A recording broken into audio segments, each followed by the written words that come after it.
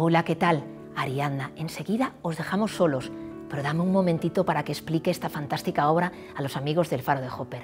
Hoy hemos venido a la isla de Naxos para entrar en este maravilloso Tiziano que describe un amor a primera vista.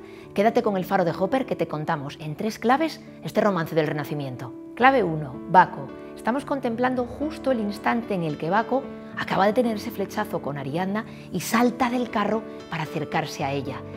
Es precioso ver el efecto de ese manto rosado de Baco que se infla al viento, donde podemos ver perfectamente la pincelada de Tiziano. Tiziano es uno de los grandes maestros de la escuela veneciana.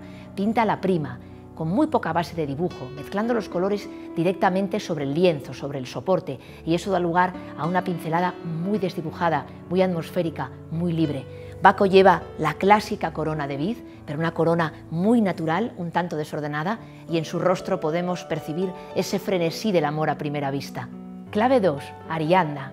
Ariadna que, como os contaba, estaba abalanzándose casi hacia el mar, despidiendo a su amor Teseo que la había abandonado en la isla de Naxos, es sorprendida por el ruido del séquito de Baco y se está girando.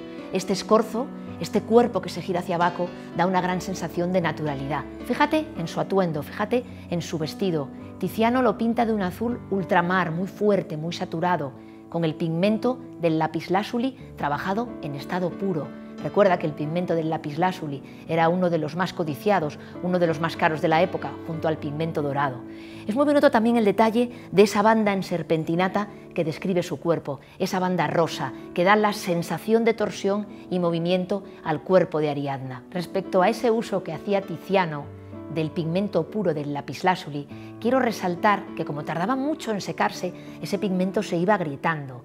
De hecho, en la National Gallery, si uno arrima la mirada al cuadro, puede ver las grietas en la túnica de Ariadna.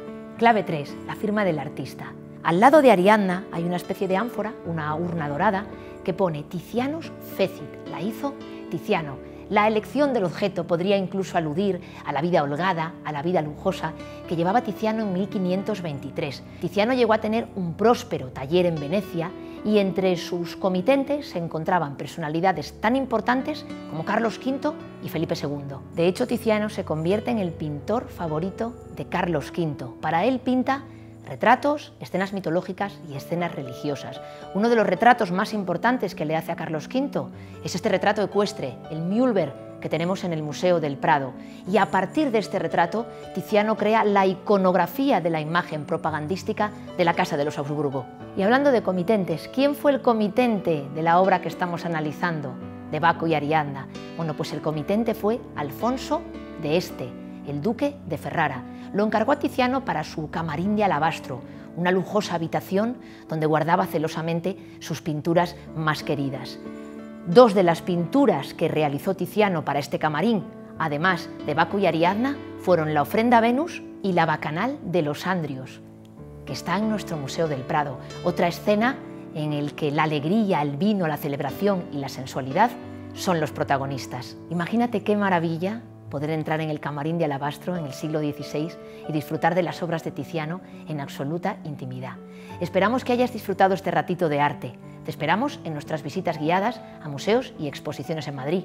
Es muy sencillo, solo tienes que escribir a info.elfarodeHopper.com y te atendemos de forma personalizada. Gracias por tu tiempo. Un abrazo desde el Faro de Hopper.